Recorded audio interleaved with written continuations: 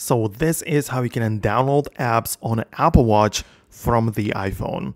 So the way that it kind of works is that whenever you have an application on the App Store, let's say it's going to be a workout or anything else, you have like different platforms where this app is available. So this is available on the iPhone, also on the iPad, and also on the Apple Watch.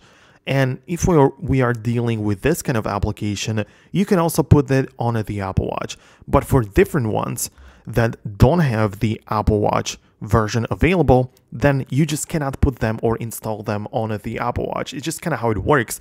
The developers of that app have to make a separate version for the watch. And if they do, you can put that on your watch right? But let's say that you have a couple of different apps installed on your iPhone and you want to make them installed on your Apple Watch. The way that you do this is that you locate the Watch app where you manage everything watch related.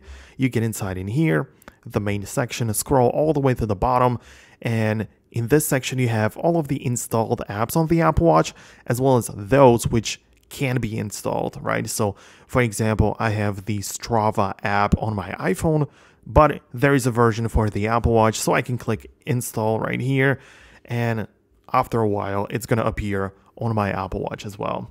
So that's kind of how it works. That's kind of how you can manage it. Personally, I like to keep it automatic. That means that whenever I download an app on my iPhone and it has available version for the watch, I want to make it happen automatically. To set it up, you can tap on a general and then turn on automatic app install. This means that, as I say, when I download, for example, Strava on my iPhone, and there is Apple Watch version, it will happen automatically. So I don't have to pay attention to it at all. So that's kind of how it works. I hope you found this video useful and informative. Any thoughts you have, leave them below. Hit the like button, but most definitely subscribe to Foxtecc because I upload like a bunch of tutorials every day and you might find something useful. So, mm, yeah, see you guys later.